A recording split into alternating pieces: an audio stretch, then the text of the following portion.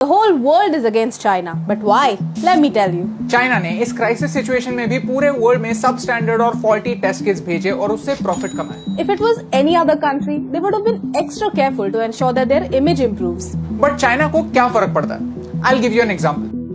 Hydroxychloroquine इस medicine का नाम तो आपने सुना होगा ये ड्रग मलेरिया के अगेंस्ट यूज़ होता है और कोविड 19 के अगेंस्ट यूजफुल हो सकता है। India is the largest manufacturer of this drug and we exported 50 million pills to the US 50 million that's huge but the raw materials for this come from China and during the corona virus pandemic China suddenly raise the prices That's why now India wants to build a complete supply chain in India so that we are not nirbhar on China. China manufacturing mein number 1 hai.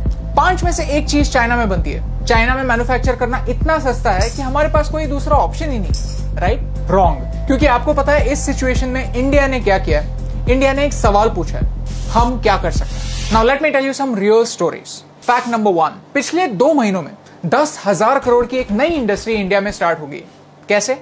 एक सवाल से हम क्या कर सकते हैं The textile industry had to close down because of coronavirus. But even during these tough times, they found an opportunity. Factories completely बंद रखने से अच्छा है पीपी किस बनाते हैं एक प्राइवेट कंपनी ने स्टार्ट किया फिर एक और फिर एक और and today India makes 4.5 lakh PP kits every single day In these two months, India became the second largest PPE manufacturer in the world. This new industry will be worth $60 billion by 2025. I mean wow All of this happened in less than 60 days.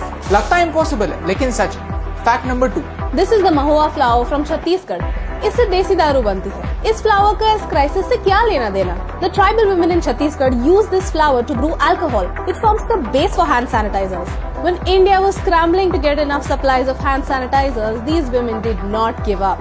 They asked हम क्या कर सकते हैं I mean just look at their creativity They understood the real meaning of vocal for local और एक आदिवासी solution है, वहाँ की लोगों की जान बचाई ये लगता इम्पॉसिबल है, लेकिन सच फैक्ट नंबर थ्री एक हज़ार कंपनीज़ चाइना में मैन्युफैक्चरिंग छोड़कर इंडिया में मूव करने की बात कर रही है। इनमें से 300 कंपनी ने पेपर पर कमिट भी किया और ये कहाँ मैन्युफैक्चर करेंगे? मुंबई, दिल्ली, बैंगलोर जैसे बड़े शहरों में नहीं, छोटे शहरों में। इंटीरियर्स में। Luxembourg is a country in Europe. India has reserved land twice the size of Luxembourg for industries that want to move out of China and settle in India.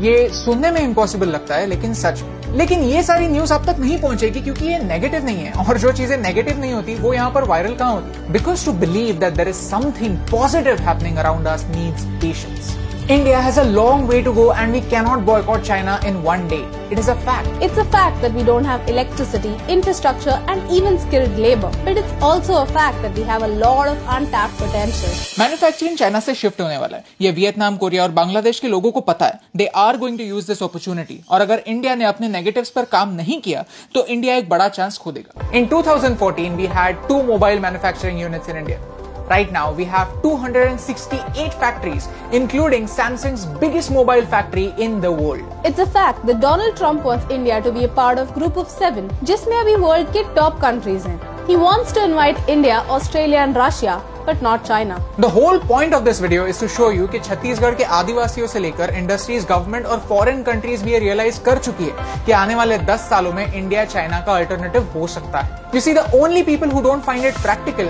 are normal people Common people हम जैसे लोग great historical progress always happens after major disasters ये मैं नहीं कहता खुद Xi Jinping कहते हैं शायद हमें उनकी ये बात सुननी चाहिए History is proof that whenever a country hits rock bottom, it is the people who bring it back to life. Germany ने वर्ल्ड वॉर टू के बाद क्या किया जापान क्यों सक्सेसफुल है सिंगापुर से इंडिया क्या सीख सकता है आने वाले दिनों में हम ऐसे एक्शनेबल पॉइंट्स आपको बताने वाले हैं। इस वीडियो के बाद अगर आप में से कोई एक भी खुद से ये पूछेगा कि हम क्या कर सकते हैं तो आई थिंक ये वीडियो सक्सेसफुल शायद यही सवाल सोनम सर ने पूछा होगा। इसीलिए उनको लगा कि हम चाइनीज़ सॉफ्टवेयर डिलीट कर सकते हैं। शायद यही सवाल भुवन बम ने पूछा।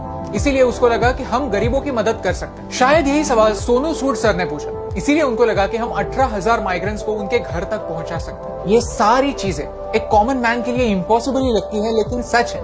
फैक्ट्स है, हो चुकी है। क्योंकि इनके लिए नेसेसिटी प्रैक्टिकलिटी से ऊपर। क्योंकि जब आप खुद से पूछते हैं कि हम क्या कर सकते हैं तभी आप समझते हैं कि आप क्या क्या कर सकते हैं।